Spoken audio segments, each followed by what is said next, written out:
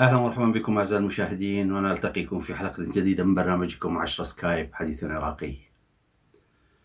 لعل واحدة من أبلغ صور الكارثة التي حلت بالعراق منذ عام 2003 لحد الآن منذ عام احتلال العراق عام 2003 لحد الآن.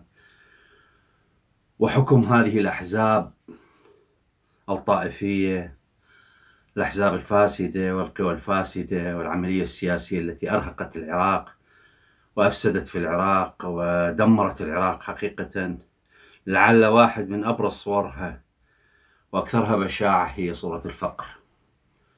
صورة الفقر الذي حل بالعراقيين. عموم العراقيين. ومع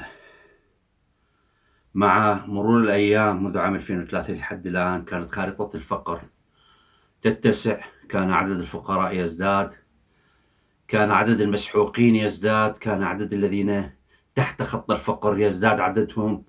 حتى بتنا نتحدث وباتت التقارير والإحصاءات تتحدث عن 13 مليون عراقي تحت خط الفقر. هؤلاء يعني ربما واردهم اليومي واردهم الشهري لا يزيد عن 3000 3000 دينار عراقي. وتحدثنا في حلقات سابقة ربما. يعني هذا ما تحدث فيه البنك الدولي. وقال إنه 13 مليون عراقي يعني دخلهم الشهري لا يزيد عن 3 آه، دولار أقل من 3 دولارات. وبالتالي أنت تحسبها أقل من دولارين تحدث عن أقل من دولارين.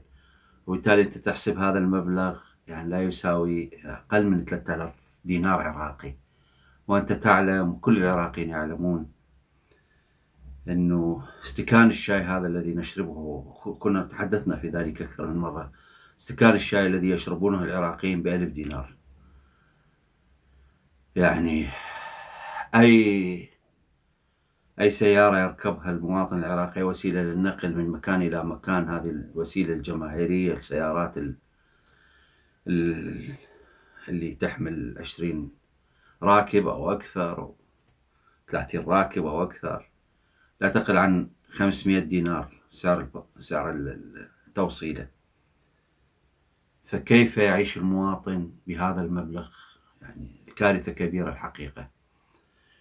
و يعني مساوية أو ملاصقة أو يعني كانت تسير بخط موازي لها هي البطالة. يعني كانت تسير مع الفقر بخط موازي. خطين يتصاعدن ويكبرن وخط غريب عجيب بالبطالة. مستوى المعيشة انخفض بشكل كبير جدا جدا. المواطن لا يستطيع أن يعيش. الفقراء يأكلون من المزابل. والأغنياء صارت صار بهم شاسع بين طبقة قليلة جدا من الأغنياء المترفهين بجنون وبين طبقة واسعة من العراقيين فقراء بجنون. هذه كارثة كبيرة. مع كل هذه الأموال والشعب العراقي يعاني. وهذه الحكومات وهذه القوى التي تعمل بالعملية السياسية لا هي لا, لا يعني شيئا. آخر شيء يعني الحكومة قررت حكومة مصطفى الكاظمي وأصدرت قرارا وكأنها يعني تتفضل على العراقيين. أنه راح نعطي 100 ألف دينار لكل موظف وكل متقاعد وكل بالرعاية الاجتماعية. ماذا يعني هذا المبلغ؟ مئة ألف دينار يعني 68 بحدود 68 دولار. إذا كانت العائلة اللي يعيلها الموظف أو المتقاعد أو أبو الرعاية الاجتماعية أو المرأة التي في الرعاية الاجتماعية من خمس أفراد. معنى ذلك أنه نسبة كل فرد حصة كل فرد من هذا المبلغ 13 دولار فارزة 6 بالعشرة و600 وستين بنس. يعني من شهريا هذه. أما يوميا فحصة كل فرد لا تزيد عن 45 بنس. قل خل يعني الحكومة خلي هي العاقلة تفتهم اللي تقول إحنا وطنية وكل هذه القوى التي بالعملية السياسية خلي يحسبوها ويشوفون شلون المواطن يقدر يعيش بهذا المبلغ. شو يسوي له هذا المبلغ؟ يضحكون على الناس.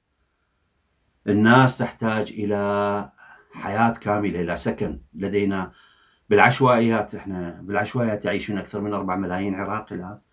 أكثر ربما 5 ملايين و6 ملايين والناس تتحدث عن 7 ملايين عراقي بالعشوائيات ناس بلا سكن غالبية العراقيين ليس لديهم سكن. وزعوا لهم أراضي سكنية. وشلون يبنيها هاي الأرض السكنية؟ وإذا بناها شنو الخدمات اللي متوفرة لهذه الأرض السكنية؟ شنو الم... وين الصرف الصحي؟ وين. وين الشوارع؟ وين المدارس؟ وين المستشفيات؟ وين الكهرباء؟ هذه هي المدن متوفرة. شو راح توفروها المناطق القديمة متوفرة. شو توفروها المناطق الجديدة؟ هذه الكذبة الكبيرة كل البنى التحتية دمرت مصانع دمرت المزارع دمرت فبالتالي أنتم أمام كارثة كبيرة والعراق يستورد. والله هذه يعني البعض يبررها يطلع لنا واحد بالمالية وزير وما أعرف منه مسؤول هذه زيادة السلع العالمية يعني هذه زيادات عالمية ارتفاع عالمي بالأسعار. نعم. وماذا يعني؟ ما أنتم بلد غني. الشعب العراقي يعني كل شعوب الدنيا تدخر أموال وتدخر تدخر مواد. غذائية وتدخر حصص وتدخر كل شيء تساعد به المواطن.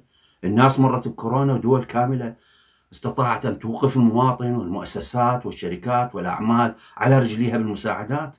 أعطت مليارات الدولارات لهذا المال لكي تقف على رجليها. تبقى مستمرة بالحياة ويبقى المواطن مخدوم. هذا المواطن هي هذه وظيفة الحكومات أن تخدم المواطن خادم المواطن مو تلم فلوس حتى تصرفها على الأحزاب والقوى السياسية حتى يشبعون وحتى تزداد تكبر كروشهم ويزداد نهبهم وتزداد آه أرصدتهم بالخارج وبناياتهم وما يملكون ومؤسساتهم. هذا واقع الحال. واقع الحال مزري حقيقة. آه، رمضان قادم والناس في حيرة. ما لا يستطيعون أن يعملون شيئا. التسرب من المدارس عالي جدا جدا. آه، وزارة التخطيط تقول إنه يعني والله 25% من العراقيين من الفقراء و14% فقط العاطين العمل، هذه الكذبة من جبتوها؟ أنتم لا تعرفون ووزير التخطيط اعترف. قال لا نعرف عدد الموظفين في الدولة. أنتم لا تعرفون عدد الموظفين في الدولة. أنتم وزارة المالية وزير المالية وزير التخطيط اعترفتوا. قلتم لا نعرف عدد الموظفين في الدولة. إذا كنتم لا تعرفون عدد الموظفين في الدولة اللي تعطوهم رواتب وتبنون خططكم مفروض عليه على أساسهم. لا تعرفون عدد تعرفون عدد الفقراء في العراق وتقيسون نسبته هالقد أنتم لا تعرفون شيئا النسبة أكبر من هذا الشعب العراقي غالبيته من الفقراء. وما تحت خط الفقر هذه كارثة كبيرة والعاطلين عن العمل كارثة والشعب يعني الدولة آه، يعني انتهت حقيقة. هذا هذا هذا واقع الحال. هذا واقع آه، واقع واقع الحياة يعني آه، أسعار السلع اللي تحدثوا عنها. ربما تقرير كان يتحدث عن أسعار السلع يقول إنه وهو تقرير حكومي من هذه الحكومة يقول إنه 333 سلعة وخدمة من جميع التي يعني لها علاقة بالمواطن تشكل 88% من حجم الإنفاق الكلي للأسرة. هذه ازدادت سلع و سلع وخدمات هذه ازدادت أسعارها ضعف وضعفين وثلاث أضعاف وأربع أضعاف.